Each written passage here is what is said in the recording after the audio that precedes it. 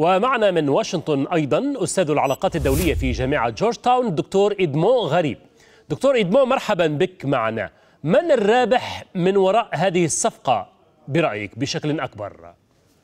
أعتقد أن الطرفين هما رابحان في هذه الصفقة ولكن طبعا التقييم الأول سيكون بأن ربما إيران هي رابحة أكثر لأن الطرفين سيحصلا على الإفراج على سجناء أو معتقلين لدى الطرف الآخر ولكن إيران ستحصل أيضا على رفع الحجز أو العقوبات على 6 مليارات دولار بعضها في في كوريا وبعضها في مناطق أخرى. وبالتالي فإن هذه على الأقل ولكن أعتقد أن ما هو أهم هو أن السؤال هو إلى أي مدى يمكن أن نقول أن ما يجري الآن هو محاولة ربما من ناحية لإرسال إشارة لدى الطرفين للقيام بمحاولة اختبار مدى جدية كل طرف بتنفيذ الاتفاق الذي تم التوصل إليه ومؤشرات ربما قد تكون نحو التوصل إلى العودة إلى المفاوضات حول طيب. اتفاق بعض حتى ولو مؤقت حول صفقة خمسة زائد واحد أو الاتفاقية هذه نقطة مثيرة سأعود إليك فيها دكتور إدمو ولكن الجمهوريين الآن ينتقدون خطوة الإدارة الأمريكية يعتبرون أن بايدن يدفع الفدية للإفراج عن هؤلاء الرهائن. كيف تبرر الإدارة الأمريكية هذه الخطوة التي ربما تخرج عن نطاق قانون العقوبات؟ فعلا هذه أولا هذه كانت نقطة مهمة وكان متوقعا أن الجمهوريين سيعارضونها وحتى ربما قد نسمع من بعض الديمقراطيين معارضة ولكن إجمالا الديمقراطيين سيستغلوها للقول بأن الرئيس بايدن يقدم تنازلات للإيرانيين. لأن في نفس الوقت الذي نسمع ذلك كان هناك أيضا ضغوط من ليس فقط من أسر الأشخاص المعتقلين في إيران الذين اتهموا بالتجسس من قبل إيران وبالتالي فإنه كانت هناك أيضا ضغوط من منظمات حقوق إنسان من بعض القوى السياسية بأن الولايات المتحدة يجب أن لا تترك هؤلاء الأشخاص كل هذه المدة في السجن وأن تعمل تتحرك للعمل على الإفراج عنهم. وبالتالي فإنه سيكون ترحيب اجمالا أيضا بالإفراج عن هؤلاء وخاصة أن بعضهم له سنوات في السجون الإيرانية.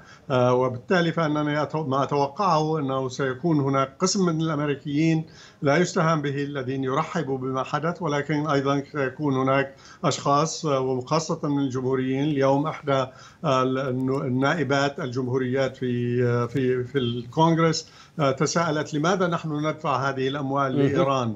كيف يمكن أن نبرر ذلك؟ وإيران تقوم ب... ب... هي ليست دولة عدو وهي تقوم بتخصيب طيب. اليورانيوم بنسب مرتفعة نعم. وفي هذا الإطار يعني الإفراج عن ستة مليارات دولار مجمدة في كوريا الجنوبية لكن بشرط وضع شرط أن تستخدم في الأغراض الإنسانية وربما شراء الأدوية، ما الذي سيضمن الا تستخدمها إيران في ربما أمور أخرى قد تكون عسكرية؟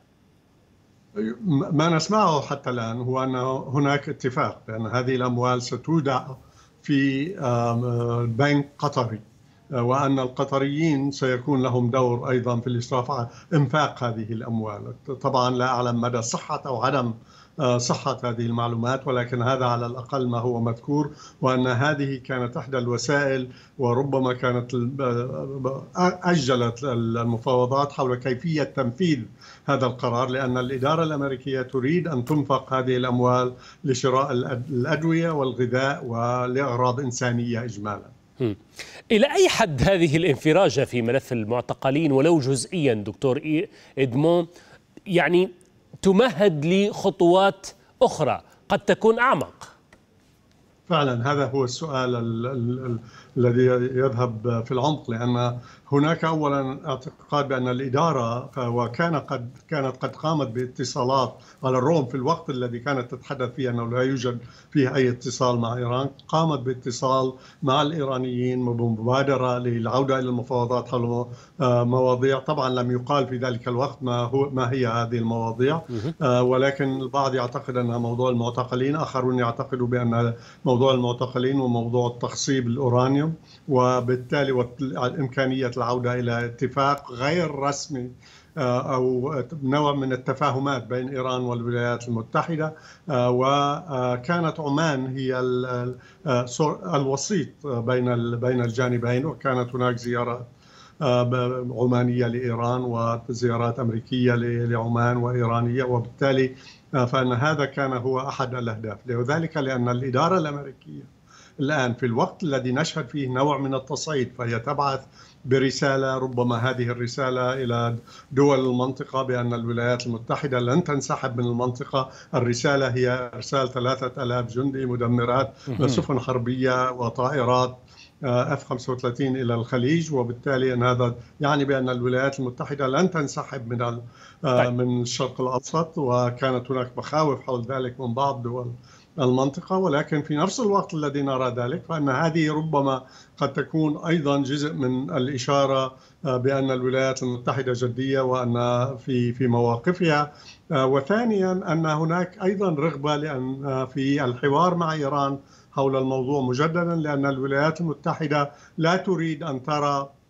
في هذه في هذا الوقت آه، مع آه، أن تدخل في مواجهات في الوقت الذي آه، يشهد العالم فيه الحرب الأوكرانية والمنافسة أو الصراع بين الولايات المتحدة والصين في منطقة بحر الصين ومنطقة المحيط الهادئ والمحيط الهندي.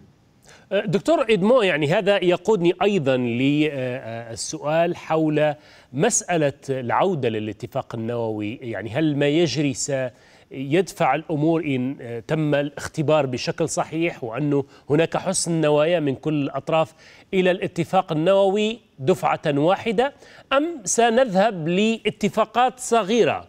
كل ملف على حده وبالتالي تفكيك هذا هذه الملفات.